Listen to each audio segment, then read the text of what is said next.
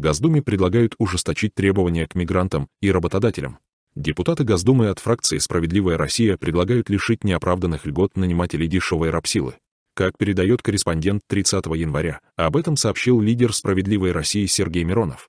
Так мы, даже не меняя режим въезда в РФ, начнем вводить миграцию в разумные рамки, а уже следующим шагом должно стать введение рабочих виз при условии официального приглашения работодателя, отметил Миронов. По его убеждению, необходимо заранее знать, куда и кем человек едет работать. Пусть предприниматель сначала получит разрешение на найм, а потом отчитается, принят ли приглашенный иностранец на работу, указал парламентарий.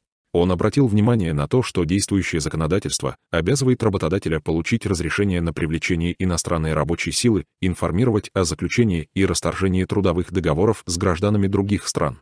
За нарушение этих обязательств предусмотрены серьезные санкции. Вполне обоснованные требования, но в законе есть исключения, когда их можно не соблюдать, если дело касается найма специалистов высокой квалификации, а также тех, кому не нужно получать визы.